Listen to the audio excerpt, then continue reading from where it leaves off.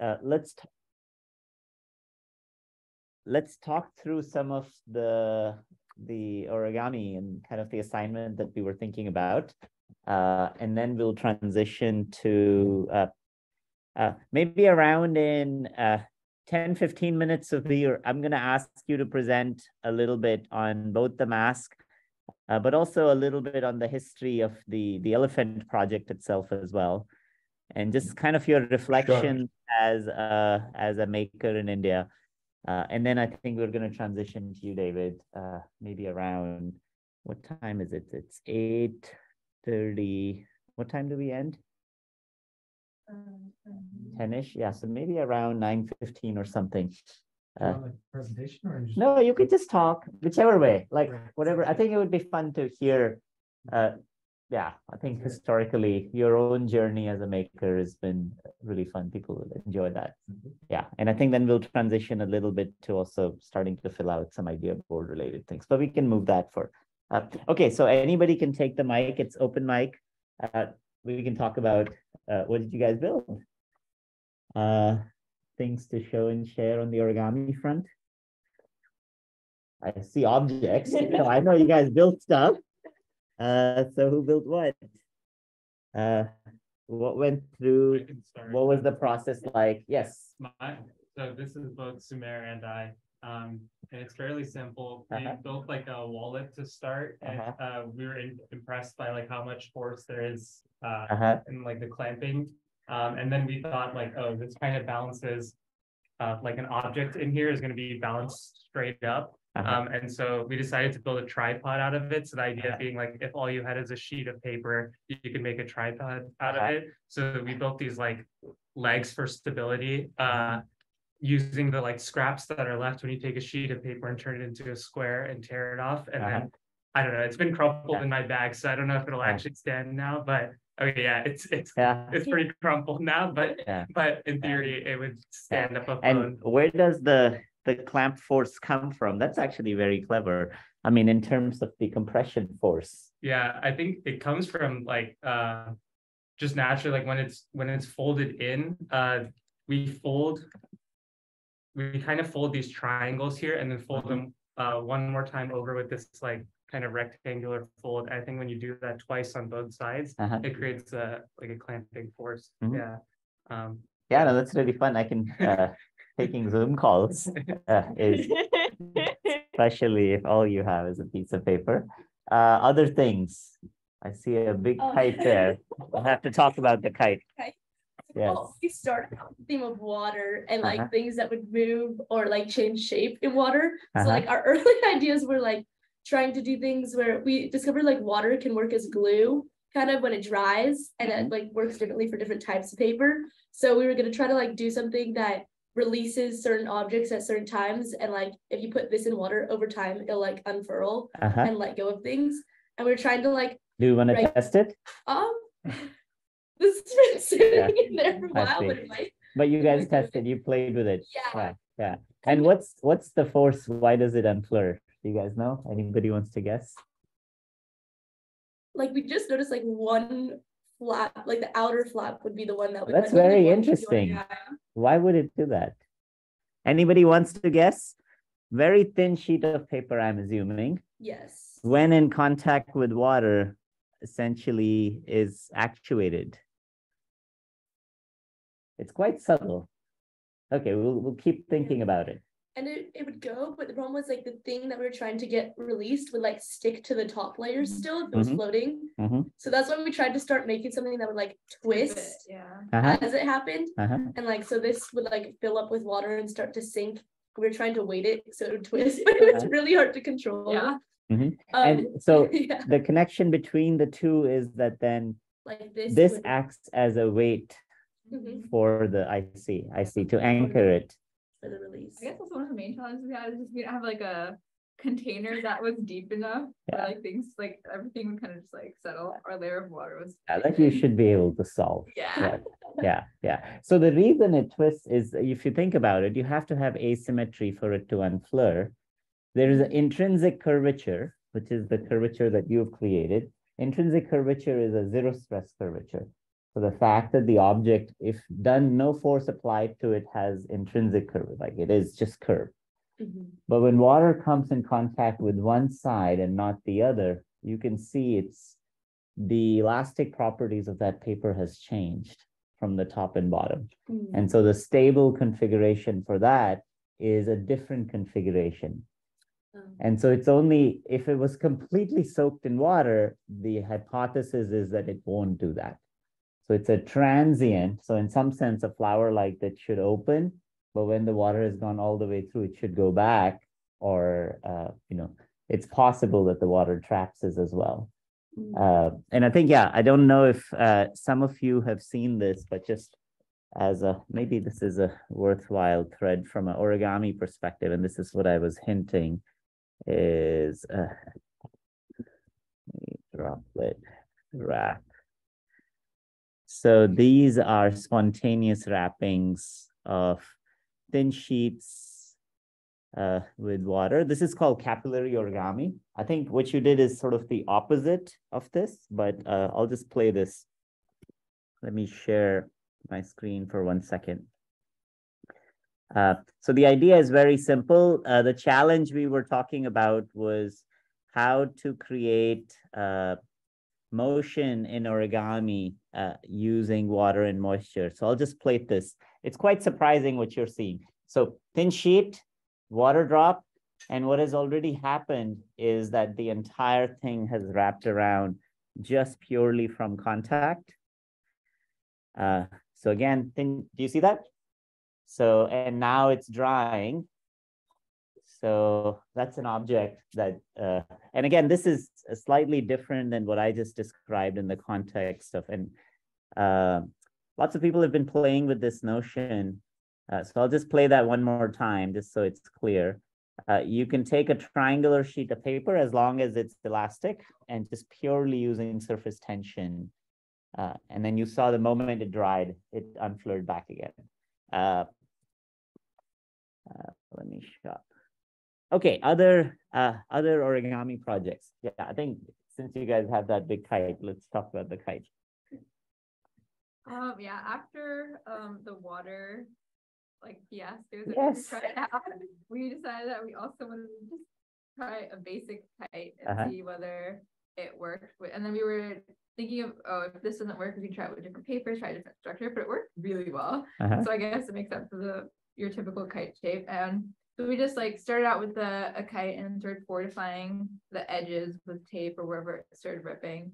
And it worked for we were flying it for like an hour and a half and it in air. Yeah, yeah. it withstood and yeah. there was no wind, so we kind of had to run with it. Yeah.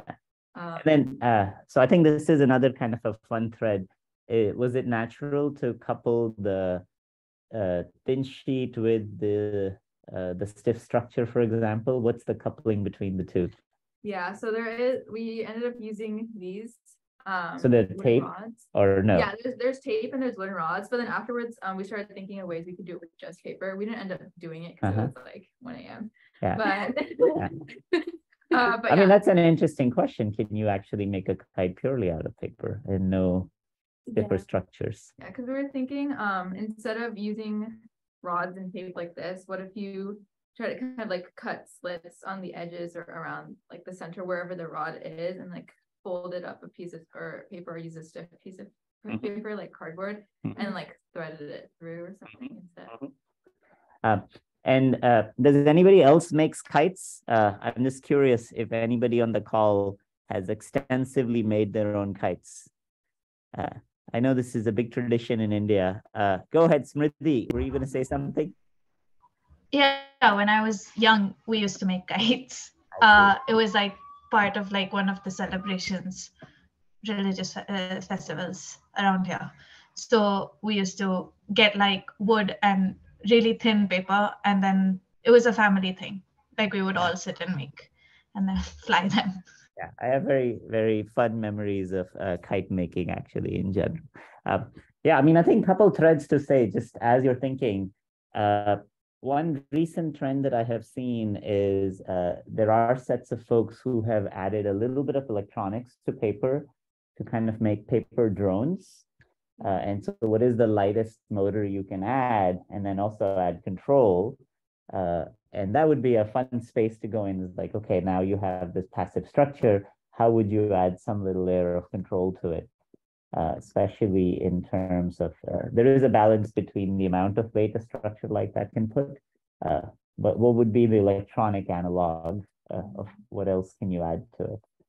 Uh, you know, of course, there's a tremendous amount of there's a an entire field that has grown now, which is called kite power, which is wind power but delivered through kites. And now that's an extreme of kite making.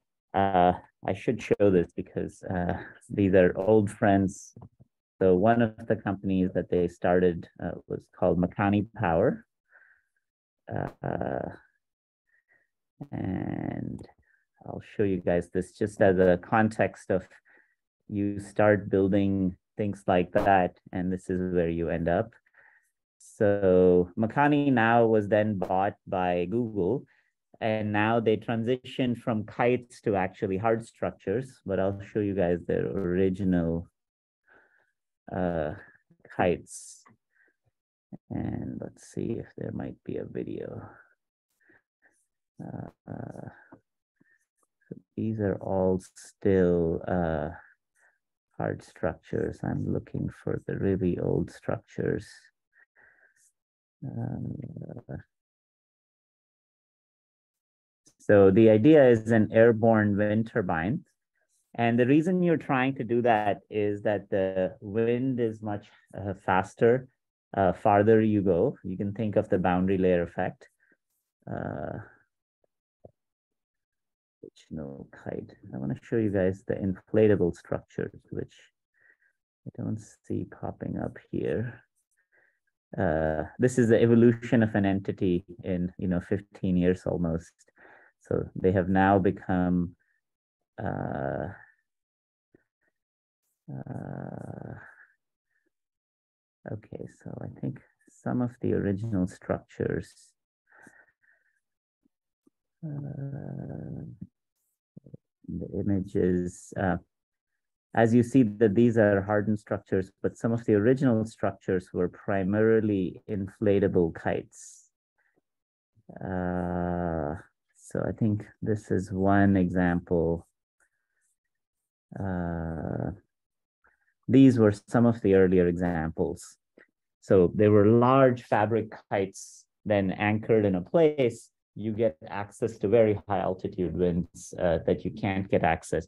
The weight of the structure, most of the wind turbine, the challenge is to keep the rod stable. Most of the cost, 70% of a cost of a wind turbine can sometimes be in the pole, not in everything else, which is surprising. And so the answer to that is no pole.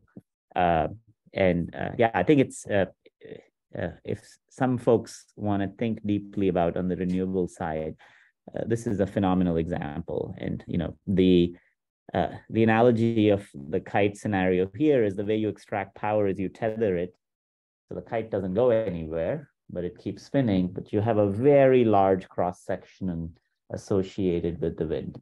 Uh, and just that rotation uh, is what's converted in. And then the generators, very much like, uh, so unlike you can think about the scenario of now because you have a blade, you're actually flying, and then you can work out a way to extract power out of it. It still happens to be an incredible. There's a lot more technology development in space in terms of thinking about safety of these ideas, uh, but on the other hand, just uh, again, I think since you reminded me of kite, it's really the power of play. That although you might start here, a couple of years later, you're doing something with this object that uh, most people haven't dreamed of. Uh, any other examples of stuff people want to show? So yeah. Kuji and I, we wanted yes. to make something to hold up a mask when we take it off. Uh-huh. So we started out with the idea of using the elasticity of the um, mask uh-huh. strand. Oh, so that's cool. like this. Yeah. But then we realized that not every mask has an elastic strand. Yeah. And also this is a lot of material for it to be stiff enough yeah. to hold it up like this. Uh-huh.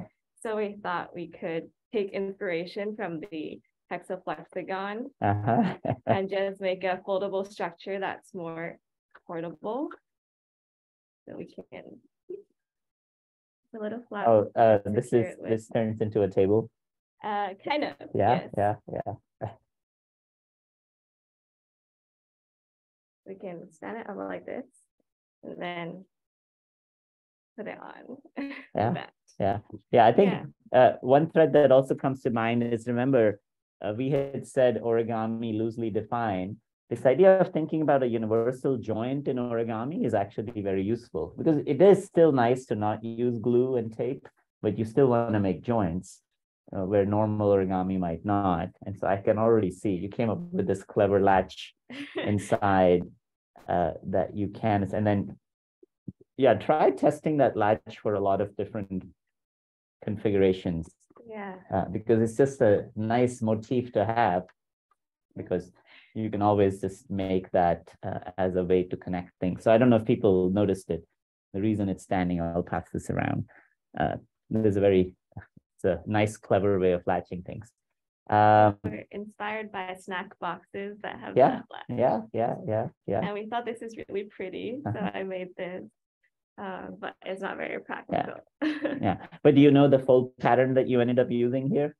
Yeah, yeah. Yeah. We looked it up online. Yeah. Do you know what it's called, this one? Oh, no. No. Is this the Miura origami or no? It almost looks like it. I don't know if people can recognize it. Does anybody recognize this fold pattern? So I think, yeah, with, with four of these, it's a variation of Miura fold. Uh, but what's very cool is that you also have curvature in the other direction. And it's, I'll pass this around. It's surprising to feel that it's actually stiff in this axis now, which you wouldn't expect from a sheet of paper that where is the stiffness in this axis coming from? Like when it's folded, clearly there is no stiffness in that. It's, but when you do fold it, uh, yeah, it's actually quite stiff in that axis. Uh, and one last thing is that last time I made a big version of yeah, this. Yeah. So I tried making more. Yeah. But then when you extend it, the degrees of freedom is higher. Uh-huh. So it if you collapse it like this, it doesn't always have enough yeah. memory to go back in place. Yeah. So it's yeah. not binary as it was feeling yeah. like in this structure. Yeah. Uh, There's more of a jiggle to it. yeah, we were talking about this joint in some sense, and um, it's it's very clever in the sense that it maintains orientability of a surface when it folds. So this orientation and this orientation is the same. Unlike a normal fold, that when you fold a piece of paper, the orientability changes. So if I was to take a regular piece of paper and if you draw a dot here and a dot here, you can see that these are now opposite of each other. Unlike that, What's unique about this fold is it maintains orientability. You can see that the surface is still pointing in the same direction. So I, I, but actually, this is really fun. It's, it's yeah. the it's sort of this is called the pleat structure. And then the question to think a little bit about is, you know, because you can make pleats without cuts, right? Uh, but it's very interesting how these sets of arches come together in some sense, whether uh, you know, I think you did this intuitively to decide to put a cut here. But if you don't cut it here, uh, is it easy enough to go back and forth or not? I'm just thinking about uh, because so the just as a kind of a formal term, when there is a cut, this is now a kirigami structure. And so there is still lots of mysteries around how kirigami actually works uh, in the sense for why these sets of cuts really enable, because now there are very sharp singularities. There can be stress points, and you can relieve stress that you can't relieve in origami. So I'm curious, think a little bit about it of intuitively why this cut helps, right? If you do something like this without the cut, without this opposite thing poking out, what would the mechanics look like and why why the cut actually really makes this a snap almost yeah, I tried making the top portion thinner, but uh-huh. that reduces the memory. Uh-huh. Um, and if I found like if I fold this, it gives it more stiffness, so it also in- increases like its pro- like probability of going back in place. Uh-huh. So I think the cut does help. Yeah, yeah, yeah, yeah. No, and I think it's uh, uh, it's a fun space uh, of designing with kirigami is is quite complex. Uh, but there are many packaging structures that you use in your daily life that have origami patterns. Um, anybody else? Yeah, Mirette has the rest of our design. Yeah. You're thinking of like um things that could like soften impact or like uh-huh. um oh that is cool. Like, collapsible things. So uh-huh. we like experimented with like cardboard and more like chipboard and like other uh-huh. stiffer paper. But another thing that I was thinking about is like storage, like collapsible storage. So maybe like uh-huh. we like made like boxes like this, we could uh-huh. store stuff. Yeah. So maybe even before that, you should talk a little bit about that object. It's quite puzzling to see. Yeah. You see these boxes appear and disappear. Yeah. So first of all, is there a cut are, are there cuts in it? Right. Yeah. So yeah. I mean, so talk a little bit more about the object itself. Yeah. So each of these are like their own papers, and then like I basically just like tape them together. Uh-huh. But um, all of them are like folded in the same way, such that like when you yeah. like push on it, it like collapses. Yeah. So I'm gonna show this on the screen just for everybody, and uh, uh, it has a really interesting twist degree of freedom, which is uh, so it snaps, right? So can people, oh, sorry. so it just, every box collapses with a twist. Oh, that is absolutely fantastic. It is elastic when you, that's why I'm saying like, it's really fun to play with it. It really wants to be in two configuration, either folded or unfolded right there. Uh, I'll pass this around. Uh, we also saw, so, sorry, sorry, Rami, I'm not in class, but I can join you from here. Yeah, go ahead. We also saw that online, um, Professor Renee Zhao, who's in mechanical engineering, is experimenting with this right now on campus and she adds magnets across the folding uh-huh. pattern so that she can actuate it in different ways. So she turns on the different um, magnets at different times and makes it move in very interesting and wonderful ways. Yeah, I've seen one of those PNAS papers, uh, and kind of one of the threads there is again going back uh, this thread of right now you're starting with origami. The moment you add magnets or other forces to it, you can stabilize their states, you can actuate, you can add more degrees of freedom. Yeah, I think what would be really fun, Miret, is post that paper uh, on the Discord and the origami channel. Uh, it would actually be fun for people to be thinking about adding degrees of freedom to the objects that they've been working on. Um, okay, let's keep going because I want to save some time for kind of the two case studies. Uh, we'll go a little bit faster. Do you want to share? Yeah. I made like a catapult. Oh. I like low key, like yeah. I, I have more experience with foam core, so I kind of just folded it. Yeah. So it's kind of I this paper kind of operates as. Uh-huh. Are you about to shoot that other origami this way? yeah, don't quit.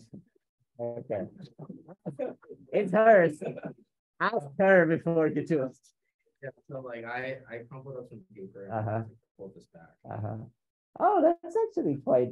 That's yeah. pretty interesting. I was I was thinking that the thing would collapse with that much of a Yeah, um, I just but have it, to hold this down. Yeah, yeah, yeah, yeah, yeah. No, I think the whole purpose of this is that you kind of start building intuition for how for uh, something like the half that stiffness, and then again that same analogy. I had said origami broadly defined, so you can immediately see origami and rubber bands take you in a totally new space. And you know, origami and rubber band is what saved us from the pandemic, right? I mean, this is all it is, is origami and a rubber band.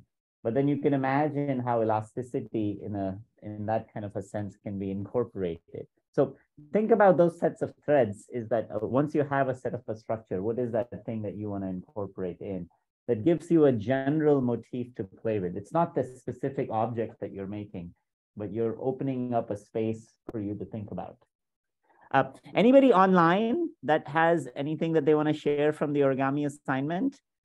Hey Manu, it's uh, it's Jackson. I'm a little sick today, so I'm online. But uh, yeah, go ahead, Jackson. I, yeah, I also made a wallet, um, which was pretty cool. This is like my literally my first time ever doing origami, so it was cool to make something that could be practical. Yeah. Um, what would be cool is if you made a wallet out of pay, uh, money that would be cool. I don't know how I would pay for anything with it, but it would be cool. um, yeah, no, I think uh, bring it to class, Jackson, next time you're in. Because definitely. I think it would be really fun to actually see it. Definitely. And I also made a basketball hoop, which is cool because I'm a big basketball fan. So, uh-huh. oh, is that? No, no, this is separate. No, what is that object? Oh, just try to. Okay, this is a basket, not yeah. basketball hoop. Okay, okay, I was just connecting that. Yeah. yeah. Um, a little better at shooting on a real basketball hoop, but I'm working on shooting on the origami one. So. yes, I think uh, crumpled pieces of paper have been utilized in graduate school offices as basketball for a long time. Uh, uh, any other comments before we dive in into kind of the the main course today? Uh, anybody else wants to share any origami structures?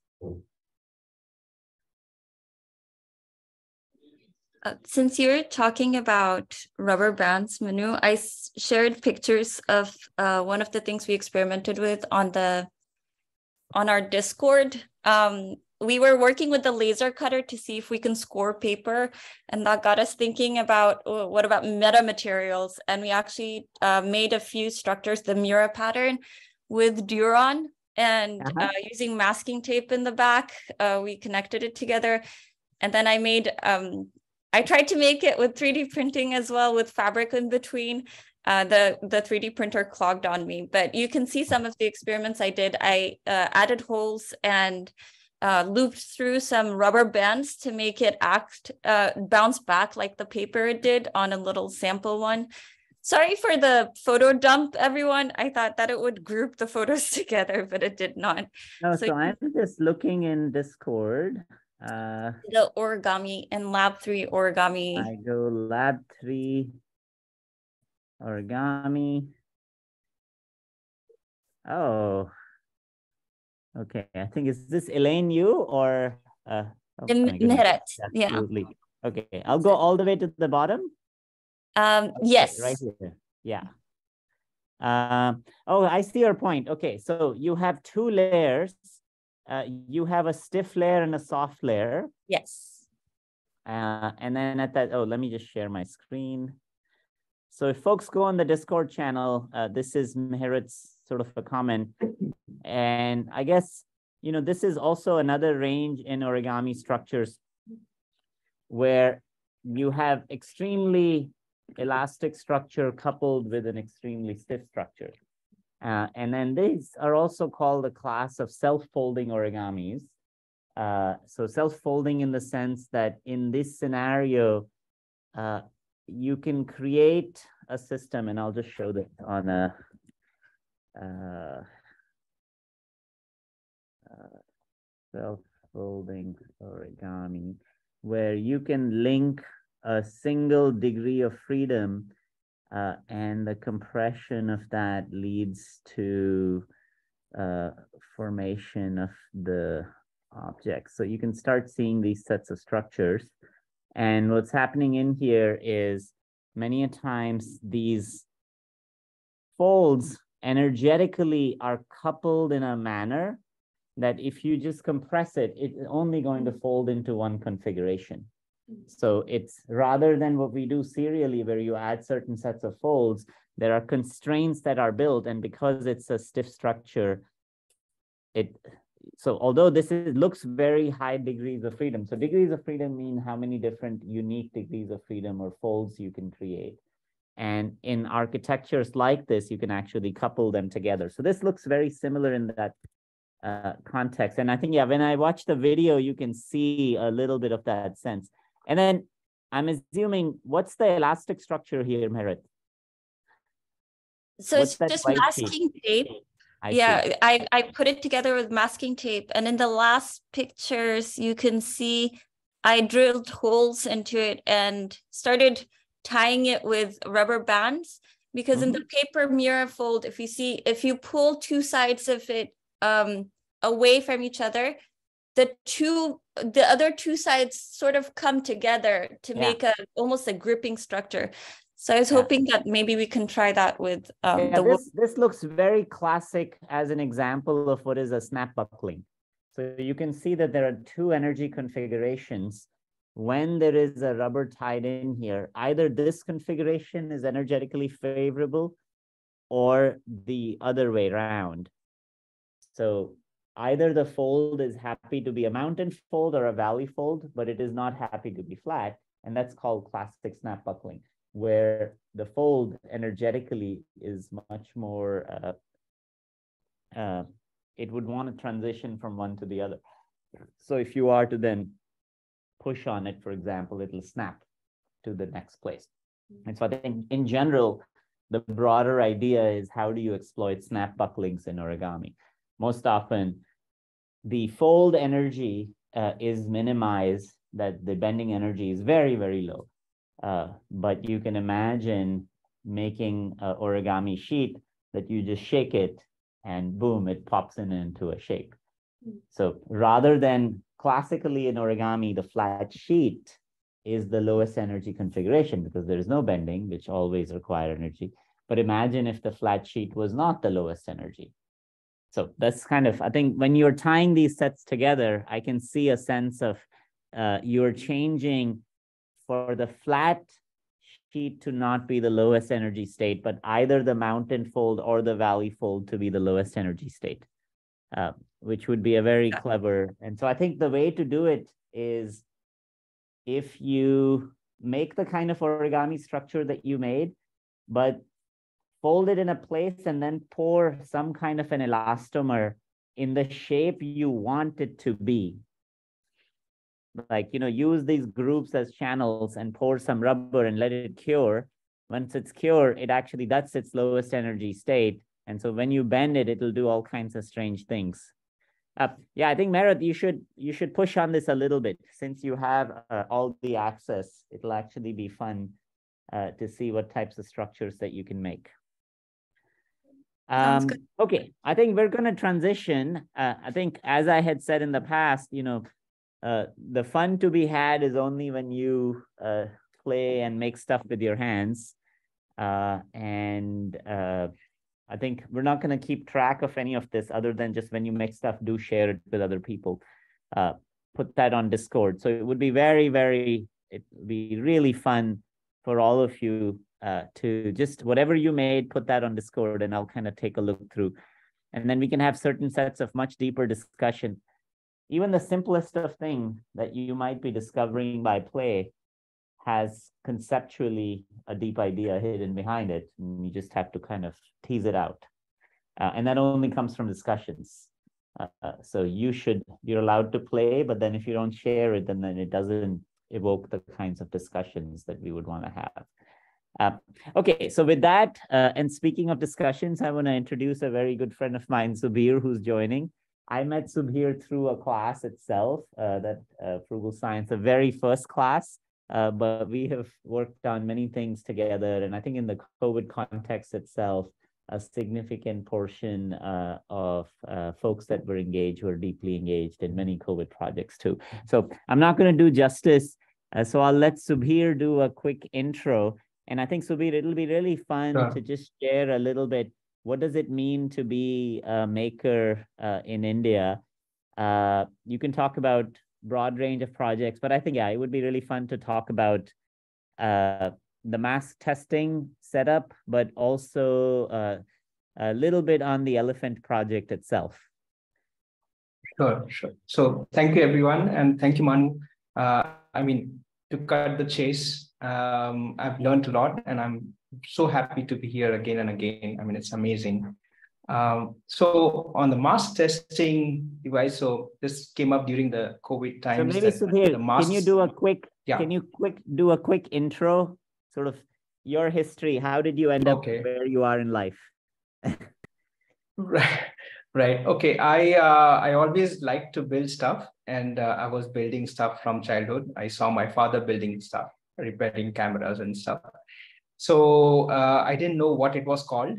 And it's only now that the word makers have become popular, but we have been, uh, and so I did all my uh, education thinking I'll be, sometime I'll be a scientist, sometime I'll be uh, something else and all that. I didn't know what this word is called, but now I know after many years that we are makers and that's what I want to be. Um, and so um, I started a small shop, uh, workshop, a prototype design shop in 2017 in India, in the city of Pune. and I've been listening and talking to small. Uh, so the focus is to design for people who do not have resources. And that's something of an engineering challenge by itself. Uh, that's the reason why I love those kinds of problems. And so frugal science fits right inside that zone. Um, and I'm still a student of frugal science. I'll always be a student of frugal science because it's when when it gets to the real application, it's really complicated uh, to design something frugal that will last long, that will be intuitive, and will serve the purpose. Um, and so I'm always learning. And uh, nowadays, I do a lot of projects. Uh, some of them are, uh, for example, a mask testing device. Um, then I'm building a, which is Manu, which is I, I really got excited because uh, I'm trying to build a laptop stand uh, for people who are bedridden, right? And to access laptop, uh, and that's an unsolved problem, it seems, because um, uh, they they still do a lot of jugaad, which is an Indian word for bricolage, or um, and they try to uh, pop up their laptop in a certain orientation based on books and stuff. So there's no proper stand for uh, bringing the laptop to a person who is injured or spinal who has spinal cord injury.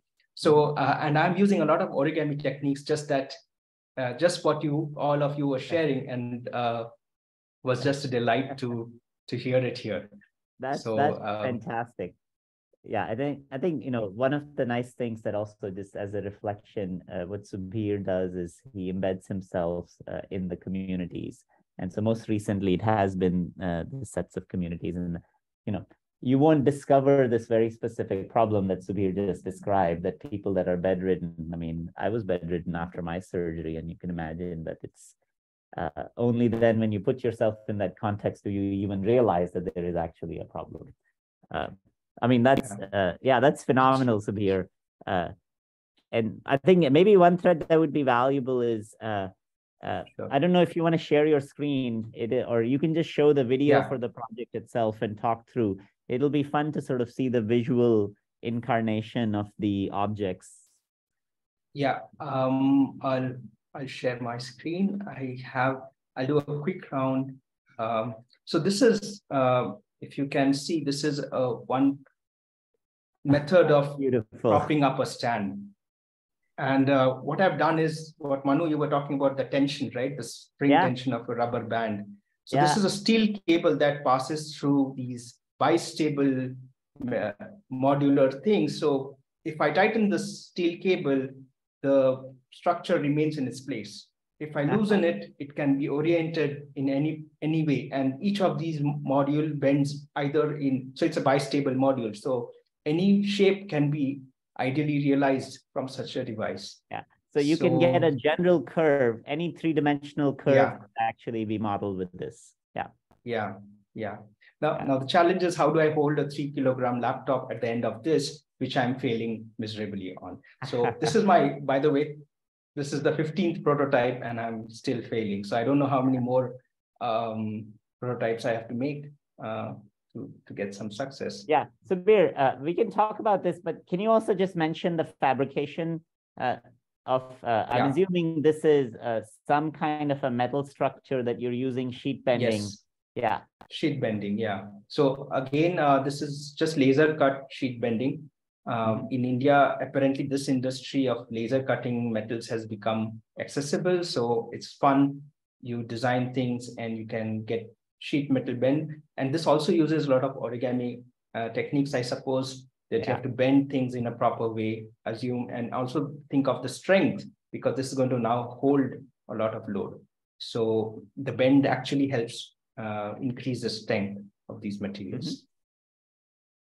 Uh, and then is there any bistable latch other than just the, because I think maybe one thread I can think about from a force point mm -hmm. of mm-hmm. view, uh, the stiffness along the arc gives you, uh, uh, you know, if I was to write this down in terms of the bending stiffness and the torsion of this object, yeah. Uh, there might also be uh, that because your cord actually goes axially, for example, actually, I mean, yeah. this is a general, I have to think a little bit, but I can imagine because your cord is symmetric to the structure, it cannot provide torsional stiffness.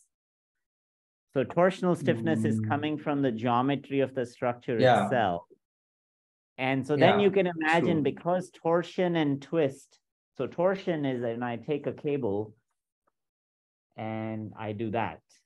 Yeah. Uh, but then, yeah. you know, these sets of things are coupled. Many times you've played with is if you twist something too hard, it suddenly snaps out of plane. So because these right. two degrees of freedoms are coupled, uh, it yeah. might be, it would be fun if you just essentially add a load step at a time, say one kilogram at a time, mm-hmm. and actually watch the deformation of this object for any given yeah. type of curve. Uh, that could give you the sense of how do you reinforce a st- structure like this that remains yeah. strong in at least the desired configurations. Right, right. Absolutely. Yeah, because I so, can see the challenge that you want it yeah. to be completely uh, free form, which latches, mm-hmm. if you were to provide latches on those edges, uh, they yeah. might not remain free form. Uh, but at that mm-hmm. same time, the moment you want it, it should snap to become infinitely stiff. Correct, correct. It can be tightened by the tension of the cable, which is just a screw yeah. tightening. Yeah. But you're yeah. right. Yeah. Yeah. But what I'm thinking is mathematically, it might actually require to have more multiple strings mm. or at least one string that's not axisymmetric to the curve. I oh, have to I think see. more about it. But I yeah, see. this I mean, this is absolutely yeah. beautiful. Thanks. Thank you. Any comments, and, ideas? Uh, How did you make this much stiffer?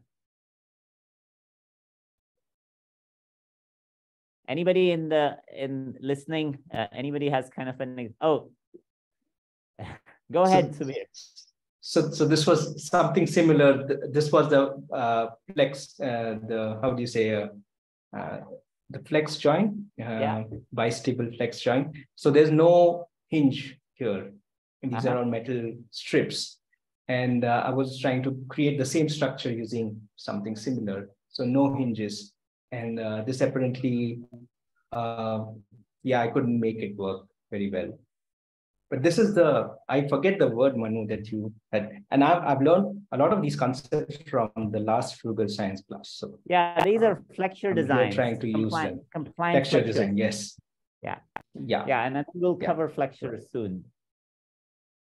Um, but I, I also love the idea of what you're at least sharing, Subir, is this notion of just like you play with paper, you can also play with metal now.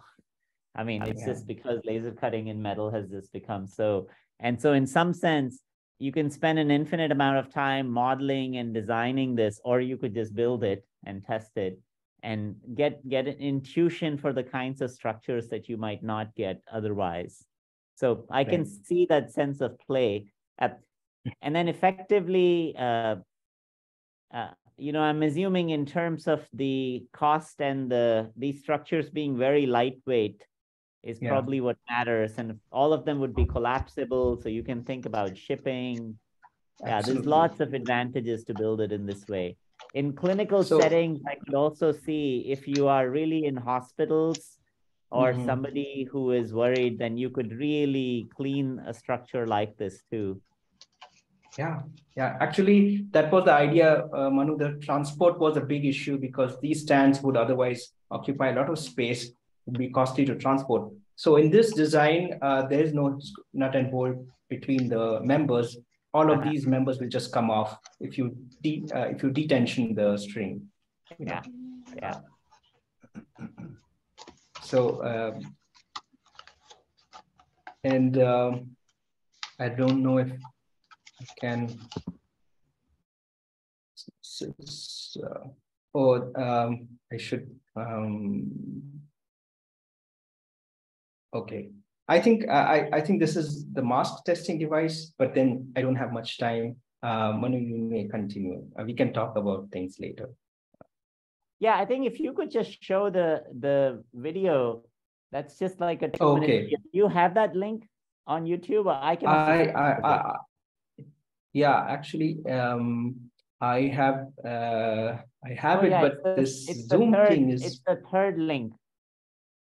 Yeah, but the Zoom uh, bar apparently uh, is blocking my view oh. for some reason. So, and I have no screen. clue. Yeah, unshare your. I, I, okay, unshare. Yeah. That's funny that it doesn't let you go.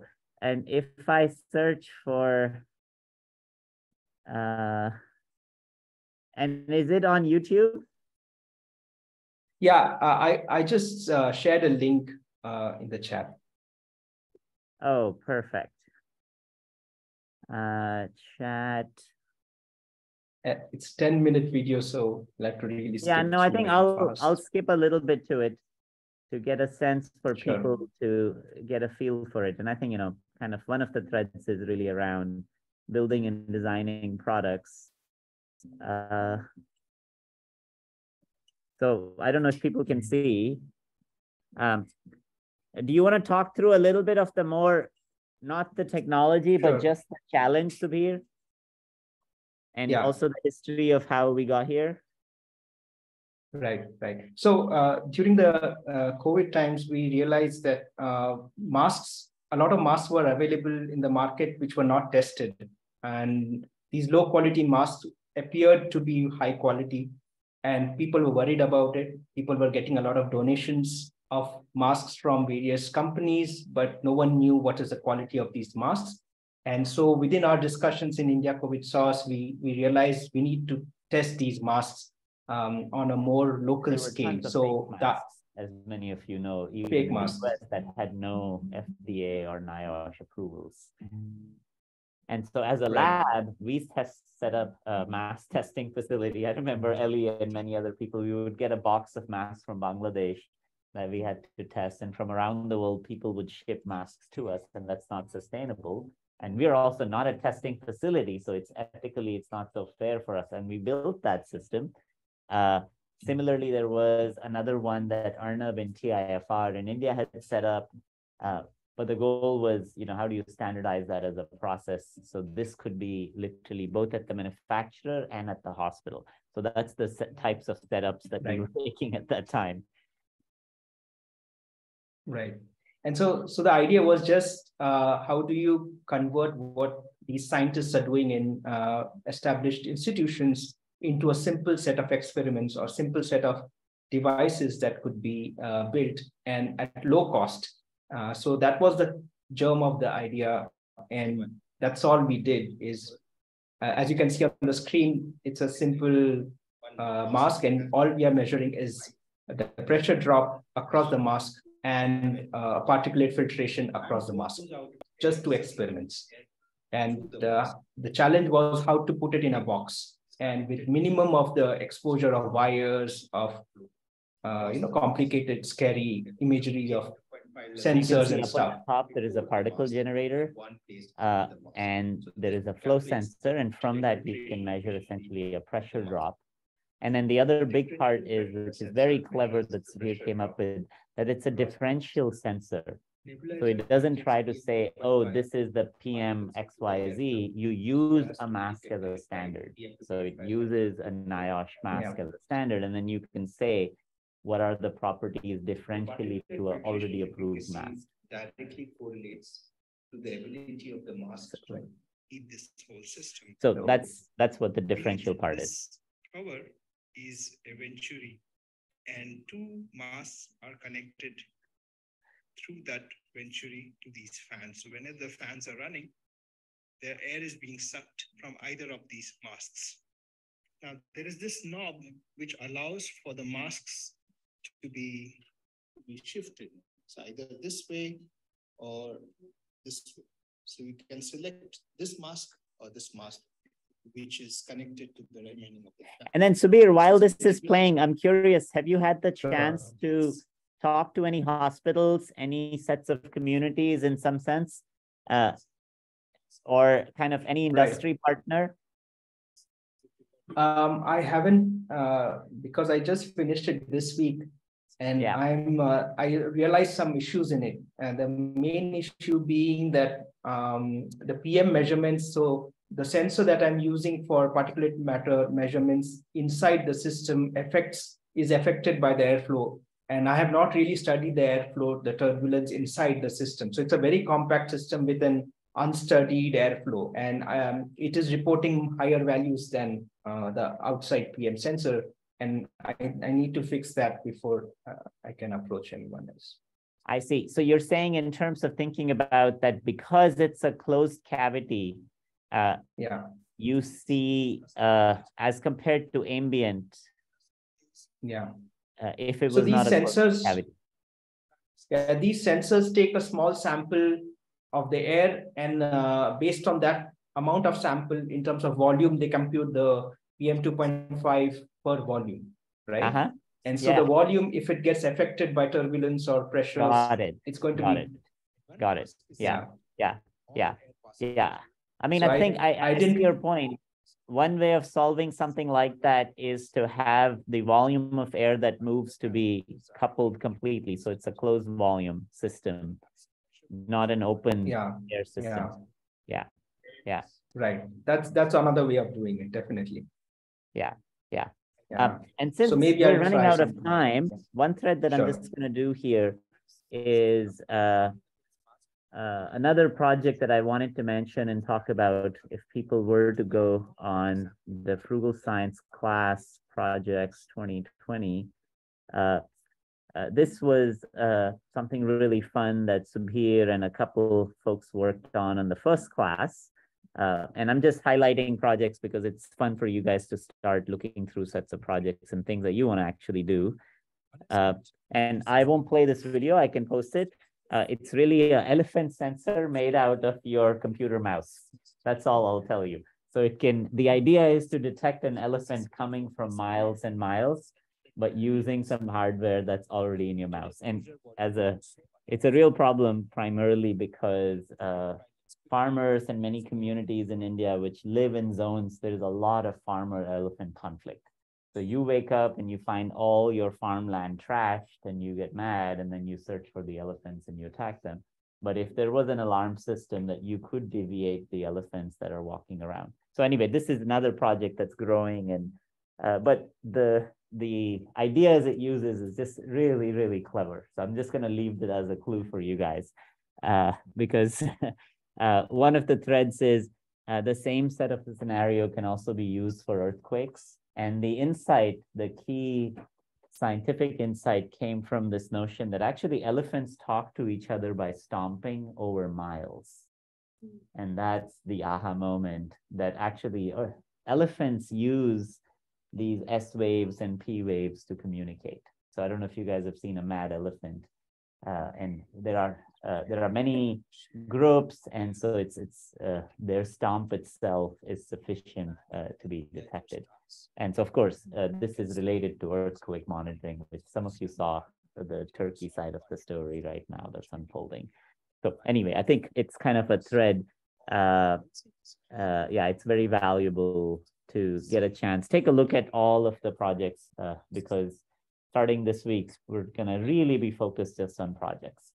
Uh, okay, so we're going to transition uh, to uh, David. And I think, Subir, if you have time and you're around, yes. it would be fantastic to just have you as a mentor for certain sets of projects. Uh, sure. As you can also see, there are lots of makers from India in the class this year, as usual. Uh, and it's valuable to sort of have them uh, see role models of people creating design solutions and services uh, in a freelance kind of a manner. So you're not tied to some corporate system. Hmm. Uh, yeah, so I think yeah. uh, there are meta lessons for them uh, to learn itself as well. Thank you. Okay, so we're going to transition uh, to David. Uh, do you want to connect? Uh, I can just share my screen. Oh, that's yeah, that's uh, that's fantastic. Uh, and uh, I think again, I'm not going to do justice to David as an introduction. I've known David for a long time now, on and off through many different ways. But uh, uh, one of the fun aspects, and also in both in his writings and other things, you guys can see, uh, once people have an aspiration, you can start from anywhere. Uh, and uh, eventually, ocean was your calling. Uh, but you know, there's there's lots of stories itself in that context itself, and I think, I guess, now maybe in the very end, you should just also mention a word about experiment. Oh, oh okay. Yeah. Do I have like 10 minutes? I think you have half an hour. Oh, like, yeah. Yeah. I'm going to tell yeah. you guys a story. Yeah. So give me one second. There is a video that's playing here that I want to. The design will soon be open um, sourced. Oh, I see what's going on. This prototype Sorry. has some limitations which have to be explored. It was playing in the back. Uh, okay. Yes. Can you guys hear me online? Yeah, any thumbs up? Okay, cool. Great. Um, so I'm not a trained, I did not get a formal training in science or engineering. I spent a lot of my early life and 20s managing a sailing school in Berkeley. Mm-hmm. And I met this guy, this my friend Eric, and I got introduced to him, and he told me this wild story about gold, lost gold in the Trinity Hills in Northern California, in the bottom of this underwater cave that no one had been to the bottom of. And he had this big vision that he wanted to explore this underwater cave and get to the bottom. And he wanted to build a remotely operated vehicle, an ROV. The problem was 10 years ago, these things cost $50,000. They were really expensive. They were big, bulky, unwieldy. And he and I had no money. Like we had $500 between us. Like I was sleeping on the couch, he was sleeping on some friends' couches. And so we picked like these design constraints for our underwater robot. Uh, it has to be less than a thousand dollars. It has to fit in a backpack. And this kind of goes to Manu's thing of finding these constraints and working and good constraints. I think this is the key to good design is finding out what the real constraints are and picking those constraints when you start to design. And so he showed me this underwater robot that he had, this prototype that he had just started building. And this thing did not really work. Um, but it was a good like tool for talking about it and showing, hey, this is the direction we're going. Um, and so I said, why don't we share this online and see if we can get some help? And so we started this website called openrov.com, and it was really just a forum of people. At, it, at the beginning, it was just us it was me asking Eric engineering questions, and, and uh, slowly we started building this group of people around um, around the world who were just chiming in and kind of, I think, taking pity on us, but it worked. And then we finally got something that worked to the point that we went to the cave, and we it was a big setup and it was a lot, a lot of fun. We brought all our friends. It was a great adventure, and we put the robot in and we got to the bottom and we found fifty million dollars worth of gold. I'm just kidding. we had so much fun, and the story. You could have. Yeah, you could have. Yeah, you could have. Um, but it was a really fun adventure, and it actually got written up in the New York Times, and so we got a ton of attention. And so we quickly started like, okay, we said we did a Kickstarter project, and we said, okay, we'll sell you a kit of this underwater robot. It's hard to build. I mean, you can see it's all laser cut parts because we were at Tech Shop and that was the only tool we had. So we designed it like this. This is not how you would you would not build a underwater robot out of acrylic laser cut parts. This is not the best way to do it. Um, but the BeagleBone computer was just coming out, Raspberry Pi. We were using off-the-shelf brushless motors, which no one thought would work underwater, but we just did it and turns out it worked. And so anyways, there's a bunch of like little design things I could talk about in this. Um, but then we had this little business where we were selling these kits um, of underwater robots and people started building them. And so uh, this was a graphic that showed all the people that went to Antarctica. There were people wow. to high altitude lakes. There were uh, classes in, and Lake Merritt um, that people were finding stuff, classes in, and Qatar, all over the world. It was really inspiring. People were finding glass sponges that they didn't know existed in these different places. People were creating 3D models wow. and finding shipwrecks and um, so it was amazing. You got to understand, this was a pretty wild adventure for two people who didn't really know what they were doing. All of a sudden, we had this big community. We were getting invited to all these ocean conferences, and um, you know, being put up there with these the, some of the most famous ocean scientists in the world who were really amazed that we were doing this. Because when we started, they said this isn't going to work. It's not possible. and so we found this and then we eventually made like a, we had some team and we had some more money. So we designed this, this product called the, the, the Trident, which was a, it worked right out of the box and it was, it was really easy to use. Um, and that's kind of the business kind of, uh, I'm gonna show you some other things. Because the business kind of got interesting at that point. Um, because all of a sudden, there's me and Eric, there's the Trident, this is the path. Um, this is really the path that we took. Oh, whoops. Stop sharing. Let me share the screen. Um, so it was this.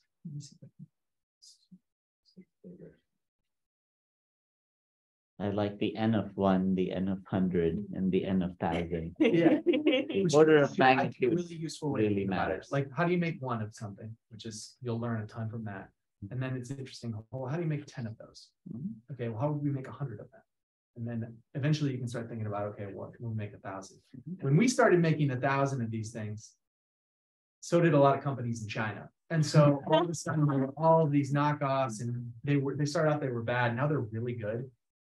And you can go on Amazon now and get an underwater drone for 500 bucks. That it's going to work really good. It's going to plug right in. So I'm really proud. Like we, you know, our OpenROV didn't survive, but I'm really proud of all the things we did. And the other things that started on the forums there with all these people building um, better thrusters, you know, like they took every like different parts of what we did and branched off in different directions. So it's reshaped the kind of industrial landscape. And we also started working on this new standard because, and I can talk to you more about that. Um, but then we, we, the company merged with this other company. We created this thing. Well, we merged with another company who was making buoys and we combined and created Sofar. And it's the same kind of idea, super low cost. This is what oceanographic buoys have looked like. I mean, just super big and the spotter, the little, it's a basketball size is there on the right. I mean, it's much, much smaller. And um, people are using this in all sorts of new ways. And um, we have this kind of smart mooring so you can attach sensors. But one of the things we were, and then if you go to weather.sofarocean.com, you can see we've created the largest private ocean sensor network in the world. We've got 2000 and we're routing ships and it's it's a growing company in San Francisco. I'm not there day to day, but it's mm-hmm. going and growing and I'm really proud of everything that they're doing. So, and then we're predicting weather, which is cool. But I, I wanted to show you this idea because I got inspired by um, what happened with CubeSats. And uh, I think a lot of, if you don't know about CubeSats, you should read the story because it was started by a Stanford professor who wanted their students to be able to be able to launch things. And they created this small design and it's totally reshaped the way we design spacecraft. And the picture on the right is a group that started in the garage. That was the same garage we started OpenROV, and it was the couch Eric was sleeping on. And they started Planet Labs, and now they're getting an image of every location on Earth. And so this is one thing I do want to talk to you guys about because I think the bottlenecked space was launch. Mm-hmm. And I think what the bottleneck is to ocean sensing is integration. So if you start working in oceans, this is a site you'll you'll see really fast. It's just all these wires and and things coming together. And anytime you want to build a platform or something from the oceans, like you have a sensor and you have to integrate it with a, a platform, and it just becomes this whole convoluted thing. There's no easy USB for the ocean right? You know, everything is custom. And so that was one of the things we started to change. Um, and this is all, all the CubeSats and the effect it's had. But anyways, um, it's called Bristlemouth. And I'm going to share a different screen. Yeah, hold on one second. I'm just going to show you this. Um, and so we started it's bristlemouth.org. And so we're going to be releasing this open technical standard um, for uh, connectors for marine devices pretty soon. So I'm really proud of that too. Anyways, that's pretty much what's been going on. I'm happy to talk about any of the design choices or um, anything about starting and running a company, and that's a whole different adventure or anything else. yeah. Design choice question. Yeah. Why did you choose to make the really smaller? Because isn't the point is just to like if you're putting them in the ocean, smaller ones would actually be harder to find if you're trying to recover them again? Well, we don't want to recover them. I mean, we made them low cost enough that you know they they show up on shores and things like that. We're throwing them out of planes, like yeah, just how they're small and they kind of don't disrupt the environment. Yeah, they don't. I mean, so they've all got GPS and we can get the basically the we can get wind and waves, which is really what we wanted. Okay. Um, and yeah, throwing off the side of ships, like we the network. I, sh I should show you the. I guess the smaller they are, the more likely they are to go with the, the waves and the current. Exactly. Yeah, but the the way to think about it is often sometimes buoys are platforms for other technologies. Yep. And then you want to build something that is going to be anchoring, uh, and yeah. you can add more to it. While on the other hand, if it primarily is a sensor by itself, And so what's the lifetime currently for the Sofar? What's They're the- still lit. I mean, some of the first ones are still out there, so Yeah. three, four years. Yeah. They've been- they've And then on the communication side, uh, is there a satellite link? It is, yeah. Okay, And yeah. so now we have cellular too. So if you want to do coastal stuff and you want to moor it, you can do that. Um. And then how yeah, much does it cost right now at the current buoys? They're about five thousand bucks. I see, yeah. Yeah, which is, I mean, that sounds like a lot, but it's. No, no, no, I think it's, yeah. Bigger. I've- And then we, this we is our, bought- all of these are all our network. So the ones that you're seeing here is our network. That we've mostly, you know, some of it is airdrop. We have a Mm-hmm. partnership with the Navy now and we're throwing them out of. Yeah. And is the data public by design or? If you're doing research, stuff, data? you can have it, you can work with it. No, no, no. So for example, when someone buys a buoy to deploy it, uh, They own that data. they own that data. So that data is not public. That data is not public unless they want to share it and help improve our models. Yes. So then all of these are, like, if I click on any of those buoys, Yeah, that data belongs to somebody. the, no, these are all Sofar. So far owns these. Okay, you have, this is the SOFAR network, Yeah, and then there might be SOFAR owns. other, And, and There what Sofar is doing people. with this is using it to better predict weather. Yeah.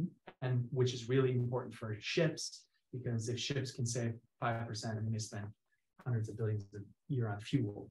So if you can save them any money, it's a big deal. Mhm. Um, and we can't. So that's what, that's the main business of Sofar, but it's a lot of data and, you know, we're making available to researchers and stuff too, so. yeah, no, I guess as a, as a business model itself, it's this interesting thing is you're solving somebody else's pain point. But on the other hand, there Yeah. is a tool that can, has much broader implications. But they, st- you know, the, the, so we merged with this other company who really started with the buoy. And they were, s- it started off just selling ones and twos of these things, just like when we were starting up OpenROV, we were selling a kit. And mm-hmm. we weren't selling it to anyone. We wanted to to make sure it was to makers and to people who wanted to partner with that. And I think that's, that's a really underrated part of some of these stories is how humble they start. And finding the, finding markets and audiences and even at those earlier stages can be really, really valuable. I know, anyways, yeah. We're building a boat now and now I wanna, now I'm- we're gonna sell it as a kit because I really want the feedback from, from all this. Yeah, no, I mean, you know, I think it's, uh, remember that we talked about the, the power of ten film. Uh, in the class, it just, I think, uh, there is no other way to scale anything. Uh, you have to start from one. You And let, let time instruct you too, like, it- I mean, this boat we're building now, I mean, I, you, I'm so, I'm too embarrassed to even show it to you. Because it's got so many problems, but where, you know, that's part of the journey is, is working through those, I think. The other big lesson is make sure you work with someone, like Eric and I just have a ball, we just have fun all the time when we're making stuff. And he's an amazing, got an amazing design idea, and I'm a good writer and communicating it, so you know, working with people you have complementary skill sets with and that you have fun with. Just, I mean, because it's a 10-year journey if you want to do something like this. Um, and I encourage you to do it because like I think the reason Manu and I connected is there's this whole world of business people and and startups and companies that are building products for markets and like have a real profit demand. And then there's all these academics who are doing all this stuff just to publish more papers. And there's this whole world in the middle of just doing things because you're curious.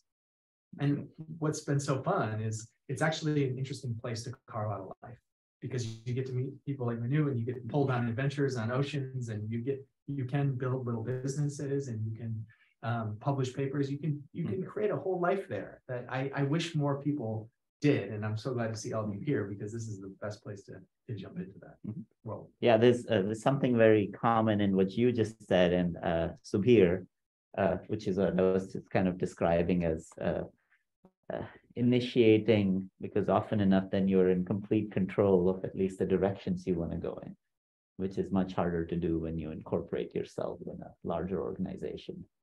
Yeah, but And I think there's power. becoming more and more infrastructure available Yeah. for folks. I mean, one of the things that, you know, you and I found is sometimes you need to have investors and sometimes you need grant money and being in between, in these in-between spaces can be Yeah. hard and challenging, but it can also be uh, um, more empowering. And to, to speak to that, I mean, one of the things I'm doing now is running this website called experiment.com. And so if you go to experiment, it looks like a Kickstarter for science. And we funded more than a thousand science uh, you know, projects and lots of different, especially DIY science projects have gotten started on experiment. And I run now we run this big grant program where we give five to ten thousand dollars out for new new ideas. Because when we got started, we got a really small grant that allowed us to. we showed up at these these ocean funders with our, our first prototype, yeah. and we were like, we want to explore the ocean, we want to build this big community. I said, well, what do you need? And he said, well, we could build 15 more prototypes if we had $7,000. and they were like, because they were funding ships and like all this super expensive, like hundreds of thousands of dollars. They were like, okay, whatever. And they just wrote us a check and they said, just bring us the receipts. Yeah. and we did. And then we put on Kickstarter. and We became by far like one of the best stories that of the things that they funded. And so now we've got this dedicated fund where we can easily write, you know, five thousand dollars, ten thousand dollar checks. And Manu and I are working on one for frugal science where we're going to be able to fund the early stages of the projects. Because I think a lot of people think when you're getting started with one of these things, like a big constraint is money. Like, what's the market for this? What's all these things? But I think you do just getting a, a, small amounts of money to cover the cost to prototype it to see if it works is a really freeing amount of money. If you get a hundred thousand dollar grant or something like that where you're paying your salaries and your employees, trust me, it gets a really unfun really fast. But if you have a little bit of money to cover costs and to build what you need, um, it can be can be really freeing. So that's what we're doing. If you want to learn more about that, just you can check out experiment.com or email me or it's david at experiment.com. So. Yeah, no, and I think one of the threads is uh, the hope is that many of the projects, as you guys get serious, uh, then there are lots of ways and avenues to support that. And I think it really, what's the the big transition point is really a commitment to a project, not the resources. And that really does it, it's more internal, it's not external. That's why I did it on experiment, because having to ask in public like to crowdfund to to say to your community, hey, I'm doing this. Yeah. Is a really it's it weeds out a lot of people who are not serious about yeah. their project. And um, having done a Kickstarter project, you've done a couple of them. It's a powerful, mm-hmm. it's a powerful experience to ask the world for help and to see who comes out of the woodwork. And so, um, yeah. and then you're you're driven to actually meet that. Exactly. Yeah. Exactly. Yeah. Yeah. Yeah. Okay, so we're roughly out of time. One of the threads that we're going to do is let's do a quick open mic. Uh, anybody, any questions, any threads, both for Subir and David, uh, you can raise your hands. If some of you want to turn your cameras on, any questions, threads, discussions? Can I show my project that yeah. I worked on before? Uh, oh, you brought it. Yeah. Fantastic. Okay. Uh, can you just say a word about yourself before and then? Ah, yeah, sure. My name is Adil. I'm from Kazakhstan. Yeah, my background is mechanical engineering. And uh, like several years ago, I started working on a device for blind people to read electronic books. Uh, so on the market, there are a lot of different um, uh, braille displays uh, that uh, provide uh, like a, allows blind people to read and text. it's kind of like a looks like a keyboard with a lot of cells on it that produce letters. It costs very a lot of money, like a thousand dollars. And my idea was like a wait a second, will I like spend thousand dollar for one just monitor? Never for display yeah. because uh, the uh, the laptops cost same same price. Mm -hmm. Yeah, and so I was curious: is it possible to make it uh, cheaper? and I started searching and how it works the process and the um, uh, main constraint was like a uh, as, uh, as more cells you have, uh, it's more uh, comfortable, but it costs more. Mm -hmm. So I thought that maybe we can like um, uh, get rid of this all these um, cells and just leave only one. Yeah. So when you say the word cell, you mean resolution? it's just a one one letter, like a cell. It means like a one. Um, I see uh, let's say unit that produce one one letter. Okay. Uh, yeah, and I said maybe I thought that maybe I can uh, do only one cell, put your finger on it, mm -hmm. and just uh, scroll or uh, control the text by your another hand. Mm -hmm. So I built the prototype of this idea. Yeah. Then there was several prototypes. Uh, so this, See, this is a moment of reveal. It's a very special moment because often enough when you create something you keep it to yourself and when i was we were talking i was like no no no you have to bring it to the class it doesn't matter where you are it really is very important yeah. to do a show and tell of like a it's a kind of the last prototype that I presented for one contest. Yeah, but uh, so this is how, how it looks like now. So it's a base, you can uh, recharge it wirelessly. So you put your finger here, it's a cell that produce, now it doesn't work, sorry. yeah. And uh, control the text by scrolling this scroll or uh, uh, dial, or mm -hmm. I don't know how to call it. Mm -hmm. Yeah. And uh, your text like goes under uh, under your finger. Mm -hmm. You can control uh, forward or backward, for example, if you don't like get the letter, or you can press the button and uh, it will be sounded like a, if you, for example, just listen. Yeah. And even the prototype building prototype it costs about uh, 100 dollars like a 10, 10 times less than uh, that's on the market. Yeah. But if we like start the um, mass production, it mm-hmm. even uh, goes um, less. Yeah. yeah. I tried different ways how to produce it. Pass uh, this around. Yeah, sure. yeah, go ahead. So uh, I started like uh, do it on the 3D printing it, mm -hmm. and I said I thought that maybe 3D printers are very cheap right nowadays, and they, a lot of people can have access to it. Mm -hmm. And I uh, at the same time I was like um, uh, kind of a, uh, teaching uh, some mm-hmm. prototyping and engineering classes for local makerspace. And I thought maybe I can make some kit mm -hmm. that we can build, like everyone can build, just buy a mm-hmm. small kit and then print it and then solder it and learn uh, at the same time learn how to uh, work with these mm-hmm. technologies and I uh, started these classes for high school students uh, yeah, but then uh, the COVID uh, pandemic starts, so I had to stop this work. But and I continue working on on the like build the for, for this uh, uh, shape and uh, and then in the development side how much of this was in kazakhstan versus when you moved? What's the history of the project? When did it start when uh, so because I, started, I, know you moved at some point of time right yeah, yeah. I, I started uh, working on this project in the beginning of uh, 2019 mm -hmm. so but then you were back in kazakhstan or here I, have been in kazakhstan this period I yeah. see. yeah and i just moved like I moved to oh just for just for campus okay yeah. so much of the development of this also is i just opened yeah yeah that's fine you can just see yeah. yeah no this is actually fun to just see as in terms of parts i'll pass this to a couple people so I'm assuming this is uh, essentially solenoids. Yeah, it's not solenoids. It works on. Uh, yeah, my first prototype was with, made by by hand, like with yeah. uh, six solenoids. Yeah, yeah, yeah. Yeah, uh, but now it's just uh, I bought it on one uh, yeah. manufacturer. So one of the actuators designed yeah, for yeah, Braille itself. It but it must be solenoids in the end, no? Uh, solenoids maybe, but it's just produced. It's just more compact. Yeah, a lot of sound and noise, and it's like a. It's custom to the yeah yeah. Yeah. Can you speak a little bit to the experience of building and doing this in kazakhstan itself? Uh, yeah. you know it's one thing uh, for me to do it here on a campus uh, with all kinds of tools littered around us and it's another so uh, yeah, yeah, what was actually, that process like? yeah actually there's there's not a huge like yeah. a big big community of makers in kazakhstan because uh, our country is like a there's only like a 19 million uh -huh. uh, in Kazakhstan, yeah. uh, and uh, our country is just uh, produce oil and gas, nothing. Yeah, yeah. We runs the world. Country, yeah, and uh, yeah.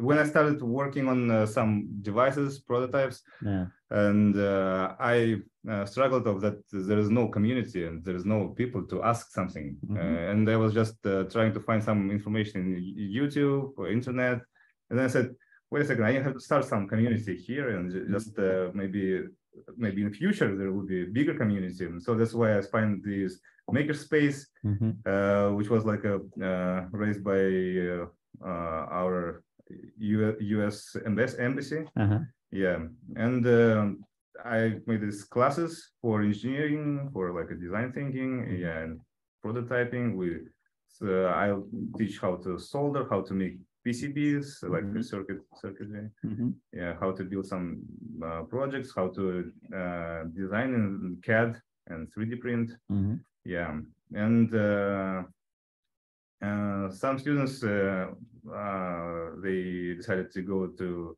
STEM, uh-huh. uh, yeah, to to become engineer. Yeah. And then is that space also still supported, or like the space yeah, that you it's, created? It's still, there, yeah. it's still there. Yeah. yeah. But mostly they use like learn English. Yeah. Yeah. Yeah. Yeah. Yeah. I think this is also a tough part of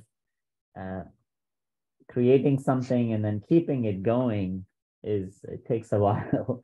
And uh, even the transients that you all create uh, in your lives are actually as important sometimes. And it's such a beautiful story. I'm just so glad that i convinced you to because uh, yeah yeah. Um, i think one of the threads that's associated because now the class will start turning much more about show and tell and really working on threads. So anytime any of you want to bring in anything that you're working on, you want to share, show, get feedback, solve technical problems. I think uh, we do this every year that sort of in the later half of the class, it really is much more about learning by doing rather than kind of the formal model that we actually take. So it becomes very important. This is a fantastic way to anchor and get you guys all excited about your own projects too uh, I couldn't have planned it better. Clearly, the one thing that yes came up with all those projects. 15 prototypes later, 20 prototypes later, yeah. it, it takes a lot. It takes yeah. a lot of tries at it. Yeah, yeah, yeah, yeah. But you know, I think it's also just this scenario of uh, uh, learning by doing, and uh, in some sense, even in a even when you have all the scientific tools, analytical tools, sometimes you still need to just make it. So there is something very different that happens when you physically form it. Um, okay, I think we're going to run out of time. So any other questions uh, for everyone that spoke today? Uh, any last minute questions? Otherwise, we're going to pick up on Thursday. And I think Thursday's session will really be uh, writing up project ideas on the idea board and just saying very specifically what any of you are passionate about. Um, any last minute questions?